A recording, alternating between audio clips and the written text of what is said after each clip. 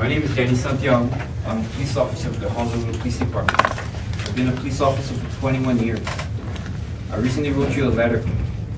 In that letter, I bring up some uh, strong issues that need to be addressed. Double standards, retaliation, false arrests, illegal search and seizure, falsifying police reports. Now it seems the Honolulu Police Department wants to use administrative investigations to cover this up. Because you do the administrative investigation, it's confidential. The person who made the complaint cannot find out what happened. When you guys inquire, you're gonna be told it's confidential. You guys gotta take a closer look at what they're doing and who they're doing it to. In an earlier meeting, you asked about retaliation. Yeah. What was gonna happen? Retaliation was happening before that meeting, before the target letters. There's some pretty screwed up stuff going on in the police department. We need you guys to help us out. People are taking care of their friends. Okay? The people who are already robot or, or left the department, their friends are still in the department. Okay? Why are the Honolulu Police Department make criminal cases against me?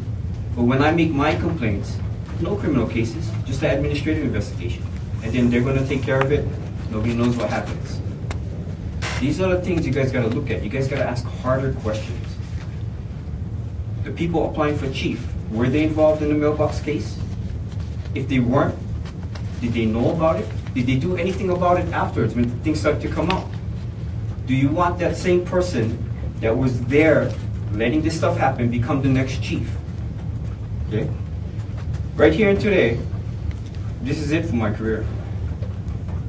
People in the police department are gonna hate me for this. But I'm tired of it. I'm sick of it. Look at the people who testified in the Kealoha investigation. What's happening to them? Does anybody care? And if you go to that extent, after those people who testified, why didn't you do that for these other people?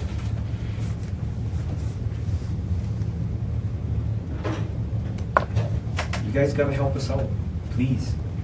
How do you suggest we do that?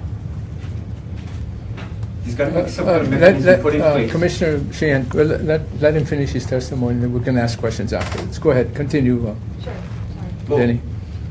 I'm, I'm willing to end my testimony and we can move on to your questions. Okay, fair enough, good enough. Go ahead, uh, There's gotta be a Commissioner. mechanism put in place where the officer can come and, and provide the information they have.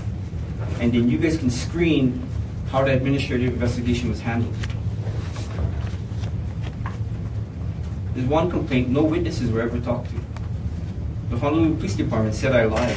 I provided video, video evidence. And they said I lied, they documented it. Your cases where commanders, nothing happens to them, but if you're an officer, you get investigated. Criminal cases made against you. Why is there a difference? You guys have to go into these investigations and look at what they did. Have them redacted if there's a privacy issue.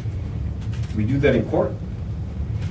So if we can redact reports so that people can review them in court and keep privacy, then why can't the administrative investigations be redacted and given to you? If I have a complaint, I'll tell you, these are the investigations I want reviewed. This is the evidence I had. And then you guys can look into these investigations and you can see, did they do what they were supposed to? Would you suggest that we use our subpoena power? We were just given subpoena power. Yes.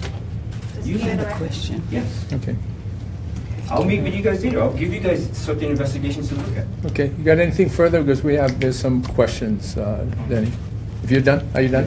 Okay, thank you. Go Mr. ahead. Santiago, did you ever try to see if you could get some help from your union, or is that a no? The union will not represent me because part of my complaint involved another union member. Oh, I see.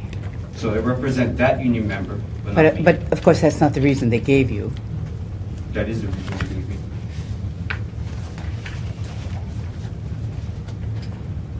Any other questions for uh, Commissioner Sheehan? You do have the option always of going to the FBI and talking to them. I have. You have, okay. Any other questions? Okay, Denny, thank you very much. We will, um, I'm assuming probably going to be, yeah, Specific we'd like to case, discuss I don't that know, further case. amongst ourselves, so. Yeah. I have But thank you copy of very the much. letter if you guys didn't receive the email. Uh, We did, we did, uh, each of the commissioners have a copy of your letter.